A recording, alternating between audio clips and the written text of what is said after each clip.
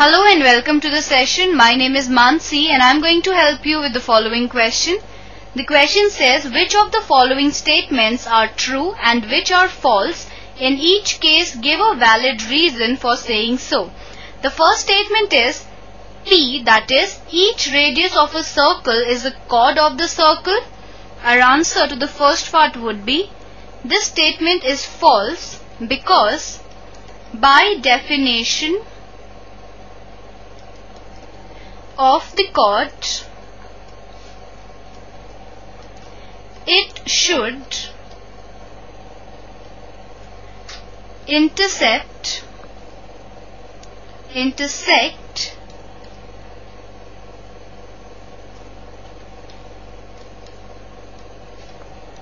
the circle in two points. So our answer to the first part is this. Now second part is Q that is the center of a circle bisects each chord of the circle. Our answer to the second part would be this is a false statement. Now this can be shown by giving a counter example. A chord which is or let us just write down that this can be shown by giving a counter example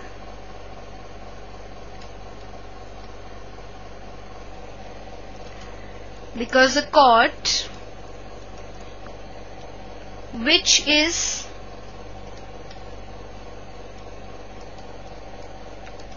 not a diameter gives the counter example. So we see that the center of a circle does not bisect each chord of the circle. Now the third part is the statement R that says that circle is a particular case of an ellipse. The answer would be that this statement is true. We know that the standard equation of an ellipse having center at the origin and major and minor axes of lengths 2a and 2b along the coordinate axis is x square by a square plus y square by b square equals to 1. Now if a is equal to b then this reduces to x square by a square plus y square by a square equals to 1 or we can say x square plus y square equals to a square which is the equation of a circle. So we can say that in the equation of an ellipse if we put a equal to b then it is a circle.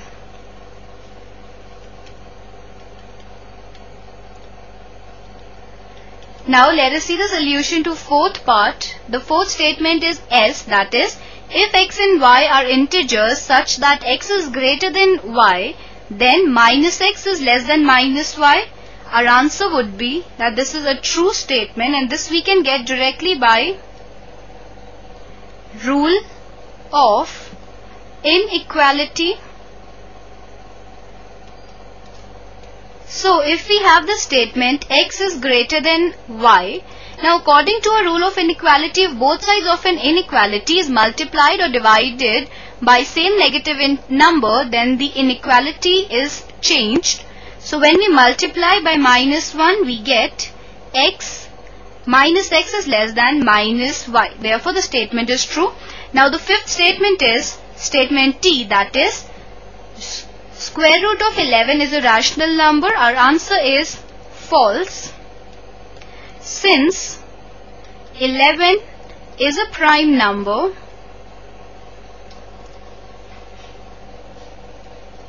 therefore root 11 is irrational Because square root of a number is rational only when the number is a perfect square and 11 is not a perfect square. So it is prime. So square root 11 is irrational. So this is our answer to the question. I hope that you understood the question and enjoyed the session. Have a good day.